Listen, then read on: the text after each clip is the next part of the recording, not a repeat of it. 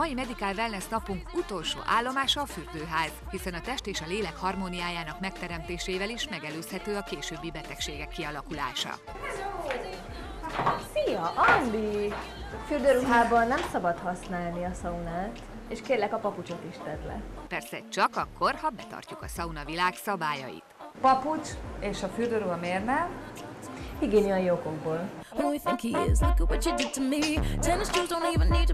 Most már jók vagyunk, jöhet a sör! A szauna mesterek általában felöntésekkel fokozzák az izzadást. Látod, golyóid is vannak, tüzelni is fogsz. Igen, egy kicsit befűtünk.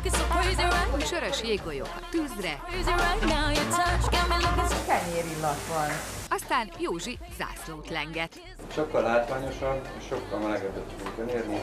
Ugye a dölt pólusai sokkal könnyebben és gyorsulnak kitágulnak, de a méreganyagok sokkal szívesebben távoznak. Felöntés után aztán egy kis beöntés. Nem is lehet kóstolni majd? Azért, hogy a méreganyagokat pótoljuk egy. Persze alkoholosan, szigorúan tilos. Tehát egy nagyon komoly vérnyomásesés következhet be, hogyha alkoholt iszunk, és akár ájulás lehet a vége, illetve a szervezet túlmelegedhet. A szauna után két órával azonban, amikor a szervezet visszatér eredeti állapotához, a sörözés orvosilag is jó zárása lehet egy medical wellness hétvégének, ugyanis nagy B-vitamin tartalma erősíti az idegrendszert, és megfelelően pótolja a folyadékveszteséget.